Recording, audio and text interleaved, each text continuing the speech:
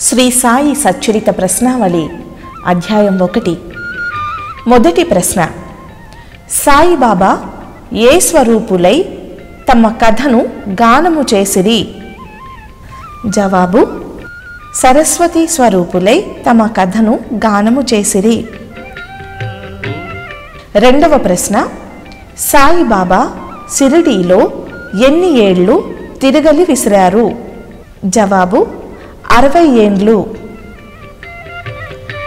మూడవ ప్రశ్న. గోధుమల లీలలో హేమాడ్ పంతుకు ఎవరి కథ గుర్తుకు వచ్చింది? జవాబు కబీరు కథ గుర్తుకు వచ్చింది. నాలుగవ ప్రశ్న. ఎంతమంది స్త్రీలు గోధుమలు విసరడానికి సహకరించారు? జవాబు నలుగురు స్త్రీలు. ఐదవ ప్రశ్న. హేమాడ్ పంత్ గృహదేవత ఎవరు? ఎక్కడ ఉన్నారు? జవాబు నారాయణ ఆదినాథుడు కొంకణ దేశంలో.